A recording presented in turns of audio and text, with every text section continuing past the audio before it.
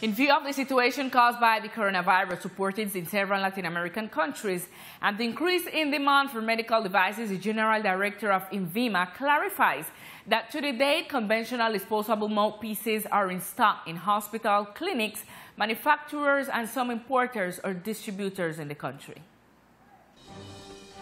The General Director of the INVIMA, Julio Cesar Aldana, came forward with information that ensures that the country does not have the sufficient number of mouthpieces for the protection of the community against the possible arrival of the coronavirus. According to the Director, there are 53 authorizations of commercialization of mouthpieces. 45 of these correspond to sanitary registries of import and 8 to national manufacture. For now, it is to be calm and collected. This means that there is no danger of a shortage. The recommendation to the producers, manufacturers, and importers is to try to maintain this supply in the national territory in an equitable manner and that the citizens use them according to the recommendations with a lot of responsibility. Conventional masks, antibacterial masks, and high efficiency masks are the type of elements for medical use authorized in the country, which can be used by people as a barrier to the respiratory conditions. With the eventual arrival we have to concentrate on prevention.